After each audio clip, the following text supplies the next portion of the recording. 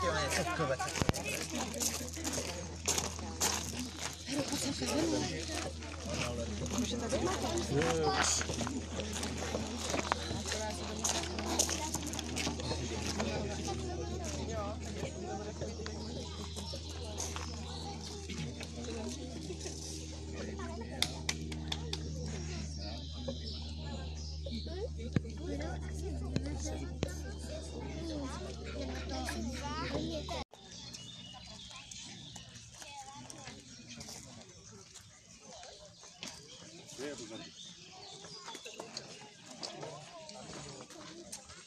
Na ty dravce rozhodně nefungují žádné povely typu ke mně, zůstaň, lehni, přines, vypad, nehrozí.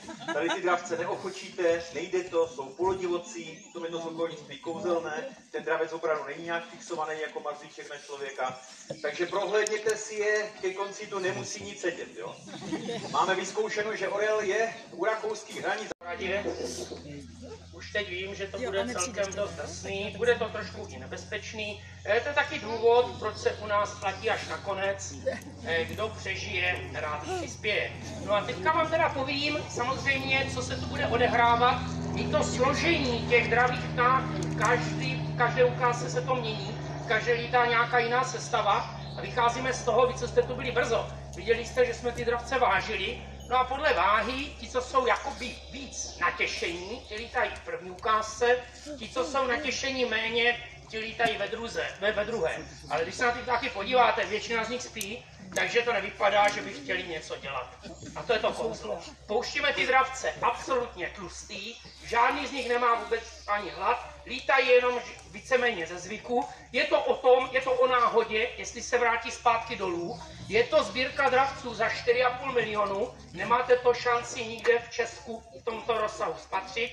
A v Evropě, když jsem projel všechny ukázky, Belgie, Německo, Rakousko, nikde to nedělají s tímto stylem. My vám chceme ukázat lov, lovecké akce. A pokud ten pták denně lítá a denně loví, byť vycpané zvíře tady na ukázkách, tak má výbornou fyzičku a jak ho vypustíme a on se dostane někam nahoru, tak si tam dělá, co chce a je jenom na něm, jestli poletí tady dolů, anebo do Rakouska lovit špačky. Čili tu ukázku nebudeme mít pod kontrolou. Každá ukázka je originál, každá ukázka je úplně jiná a tu ukázku budou řídit oni. My s tím v podstatě pak nebudeme mít vůbec nic společného. Takže kdyby si chtěl někdo stěžovat, klidně k Supovi, vidí, tak je trpělivý, ten si to vyslechne, usne a neví vůbec nic. No takže asi tak. Nicméně, divák, který, jsem, který je tady poprvé, vůbec nemá představu, co to obnáší, takže já vám udělám takový nástřel tou hodinovou ukázkou. Bude to trvat hodinu. Kdyby to trvalo 10 minut, to vůbec nemá cenu semka od zámku chodit.